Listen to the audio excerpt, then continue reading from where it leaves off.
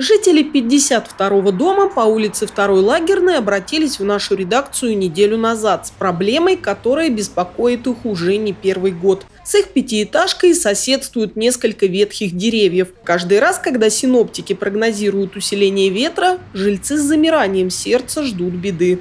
Моя квартира угловая. Мне уже много лет. Скоро 80.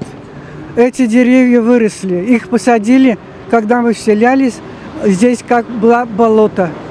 Очень э, сырая земля и стояла все время вода. Теперь они выросли, сучья а, опадают, они высохли. Деревья выросли выше крыши. Я подхожу к, к окну, у меня берет страх Божий. Они выше моей, моего дома.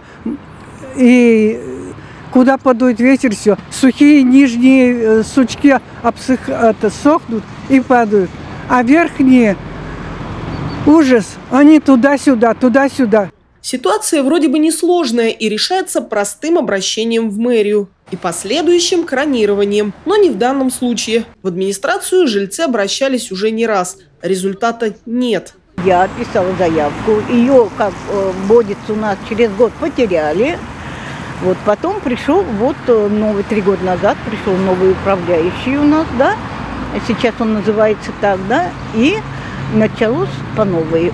На последнее обращение жильцы получили неожиданный ответ. Территория от торца их дома по улице 2 лагерной до самого края проезжей части не муниципальная, а придомовая, и ответственность за нее несут сами жильцы.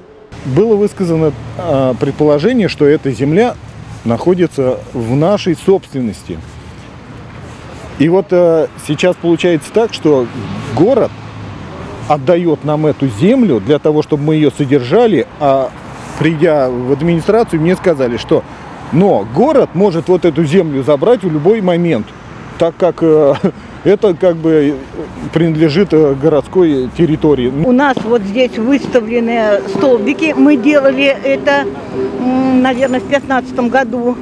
Значит, э, и мы знаем э, земля, наши, э, границы нашей земли. Сейчас администрация почему-то сдвинула э, значит, э, границы нашего земельного участка до дороги.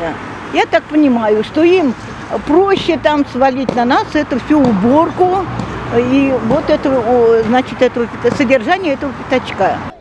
Как так получилось, что у жильцов одни данные, а в публичной кадастровой карте города другие, сложно сказать. В любом случае, провести повторное межевание и добиваться отчуждения земель в суде для жителей будет дешевле, чем оплачивать кронирование, покос травы и прочие обязанности собственников такого внушительного придомового участка.